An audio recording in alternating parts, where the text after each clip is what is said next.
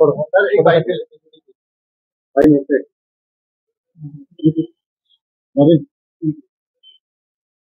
हाँ जी। नमस्ते नमस्ते। और ठीक है? हाँ जी हमारे वाले चैनल सारे यही चलते हैं। हिमाचल सेम।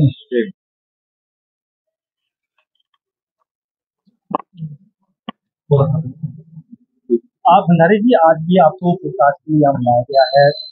किस तरह की इंक्वायरी चल रही है और इस पूरे मामले को लेकर आप क्या ऐसा जो माननीय अदालत ने आदेश किए हैं इंक्वायरी में शामिल होने के लिए मैं पहले भी एक बार आया था। जो पुलिस ने मेरे से पूछा मैंने सारी बात सच्चाई में बता दी और आज भी जो पूछेंगे हम बताएँगे और पूरा कॉपरेट करेंगे।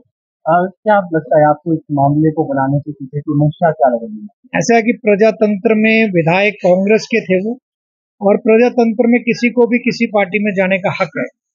प्रजातंत्र इसी को कहते हैं और इसमें वो मेरे पास आए आके वहाँ रुके। और आज वो दोबारा चुनाव भी हो गए उसमें जनता का फैसला भी आ चुका है।